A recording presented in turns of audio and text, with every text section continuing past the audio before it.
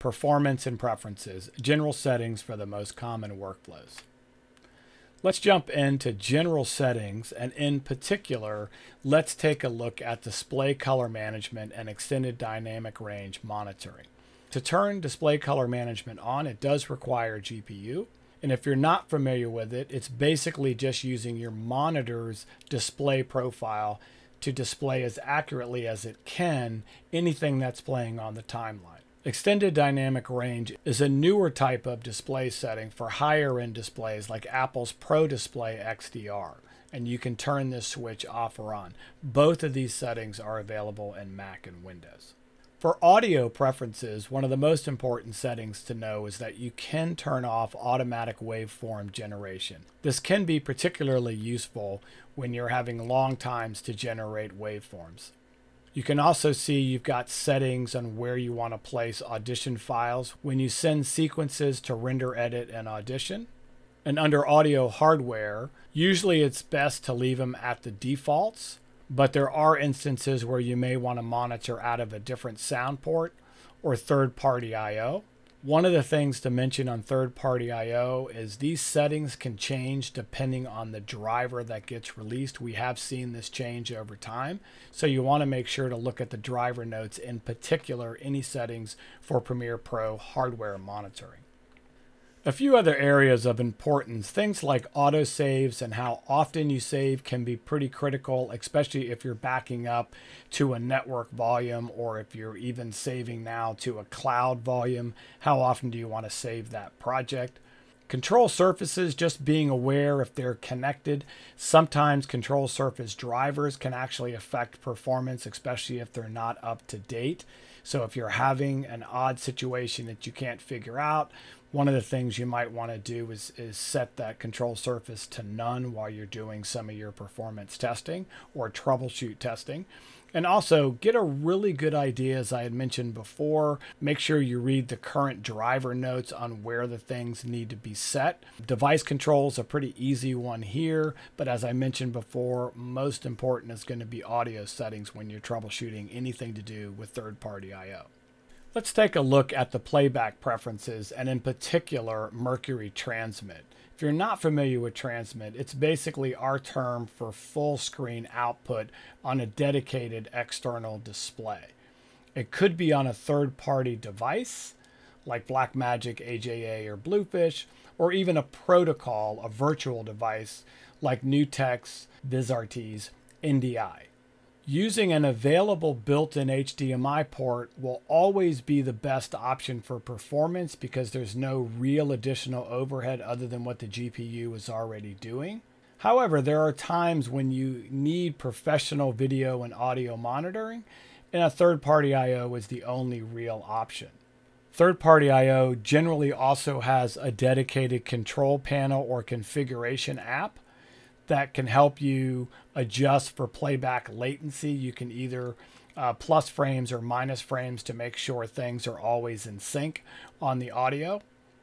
One tip that I'll point out is to make sure that audio devices and video devices actually match to the same device to ensure things stay in sync. Let's take a look at media cache and performance. You can do quick cleaning of the media cache files just by clicking on the delete button under the remove media cache files. You can even automatically delete cache files every certain days if that's something you wanted to automatically do. But more importantly, we've actually changed the way that you clean the media cache starting with Premiere Pro version 14 in 2020. There are four simple steps to follow. First thing you want to do is launch Premiere Pro and not open up any projects. Then you want to open Preferences Media Cache and then click the delete button under the remove media cache files. And now you'll see a new pop-up that says delete all media cache files from system. Again, this will only happen when you follow these steps exactly. Why is this important to point out? As you've seen, performance has improved on a number of codecs over the past couple years. Formats like ProRes and H.265 are actually much faster in version 14 than they were in 13, and no doubt this will continue. What's actually happening on the back end is that the math is actually changing on how we decode these codecs. And that means that any rendered cache files or associated cache files will have older decode math. So a general rule of thumb is every time you upgrade Premiere, follow these four simple steps. Launch Premiere, open preference media cache files, click on delete media cache files, and then click on the delete all media cache files from systems option. A few notes on performance and shared storage and cache. CFA and peak files have been successfully used on shared storage using SSD cache. One example is OpenDrives on several Hollywood film productions using Premiere Pro. Always keep the media cache database file local. That's really important. You don't want to put that on the shared storage. System clocks on client and server side can also cause issues with cache files as they can get out of sync due to differences in date timestamps. One of the most important things to know on this page is that media cache files equal accelerator files. And the two that you really want to worry about are CFA, the conformed audio file, and the peak file, which again is the data file for drawing the waveforms. There are some other accelerator files uh, different definitions as you see here. There's some for RED, some for MPEG-2 files and other things. We'll make sure you get a list of these just so you know what they are and when they get written. Performance and memory. The general RAM rule that we use is anything less than 32 gigs of RAM, we use a 70-30 rule. So 70% for Adobe apps and 30% for other apps. Anything more than 32 gigs of RAM, we set to an 80 20 rule 80% for Adobe apps and 20% for OS and other apps. In this particular example, the default is 6 gigs for other application, which includes OS. That's the default, and in this case, isn't correct. Because this system has 64 gigs of RAM, you want to change that to 12 gigabytes to follow that rule. There's another setting for optimized rendering for performance versus memory. You can set the optimized rendering to memory when you have a large number of high resolution video or still images in your sequence to help avoid low memory warnings. Generally, you just want to leave this set to its default, which is performance, but it is a good idea to know what this is used for, and sometimes you will see customers changing this to memory thinking that it's a better setting. Other performance bottlenecks to be aware of Again, having an understanding of compressed formats. Always think about the decoding and the encoding for files like H.264, HEVC. How much resources is that taking? When it comes to uncompressed formats, the number one issue we see is storage throughput, just not enough to handle uncompressed formats, especially of the larger frame size. Let's take a closer look at a format like Long GOP and why it causes extra work, especially for high cut rates. Long GOP compression only displays the changes between the iframes that you see here. So every time you make a cut, it has to calculate all four of these frames for each cut. It also has to check in those calculations every time you open the sequence. So the iframes are the intra frames, the P frames are the predictive frames, and the B frames are the bidirectional frames. But the most important thing to know is that every time you have an interframe, we have to calculate the P and B frames. Again, this can really affect performance. So if you're working on a large documentary, it might not be a bad idea to transcode that into a different format, like maybe a ProRes or a DNX codec, which have a lot less performance hit on the system, and these projects will open much faster. Smart rendering, which is just another way of saying frame copying, will take unchanged frames or preview frames and copy those when we go to export so those don't have to be recalculated. So in basic terms, when exporting, smart rendering can be used for certain formats to create better quality output by avoiding recompression when possible. But smart rendering only works if the source codec size, frame rate, and bit rate match the export settings.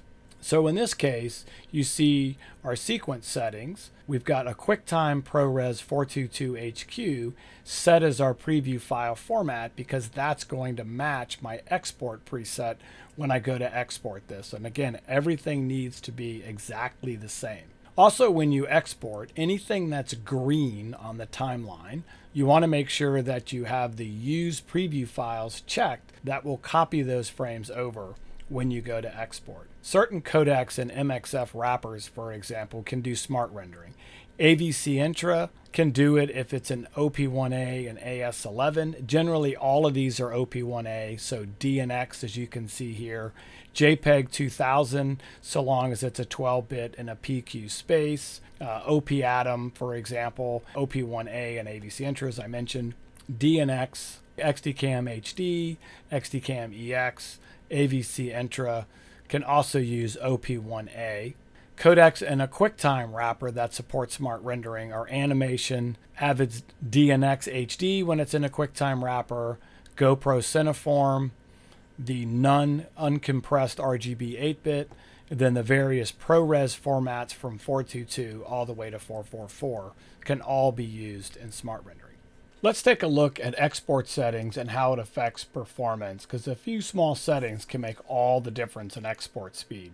Let's take a look at the format H.264. One of the first things you want to do, and really with any format, is to use the match source if possible. This should be set to default and you can tell as all the settings will be grayed out. You can uncheck those if you need to make changes manually. Another common thing we see that adds to render times is people will have render at maximum depth. You do not want this unless you're dealing with high color formats like HDR. So generally you would leave this unchecked. The hardware encoding setting is automatic and will light up if all conditions are met.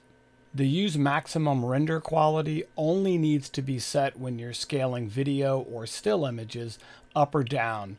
And again, in many cases, we see this checked and it only adds to render time. You only need it if you're scaling up or down. So let's wrap this section up talking about performance. And one of the places you see this is online performance videos and benchmarks. I do a lot of these myself, as I'm sure some of you do as well. The number one rule is always question everything you're seeing. When it comes to codec, probably the first thing you want to look at is are they CPU or GPU enhanced? Are they GPU effects? Because remember, if they are, not all GPU effects are equal. Premiere Pros and even After Effects Gaussian Blur does tend to use a lot of GPU, where opacity effects do not. So when you're trying to get GPUs to spike, it totally is dependent on what GPU effect you're using and how much resources it takes to calculate. Is there a shared load on the final render between the GPU and CPU? Remember when we were bringing up the performance monitors, either Task Manager, Mac OS Activity Monitor, I'm kind of watching those things to see how much resources it's taking on either side. Sometimes you can see a nice even between both, or sometimes you'll see one of the other spike. What's the frame size? Obviously 4K and 8K make a huge difference. We're even seeing 12K now, and it also makes a huge difference when it comes to the amount of VRAM you need on your GPU. And then finally, it's always good to really know what the export frame rate is and to watch that carefully.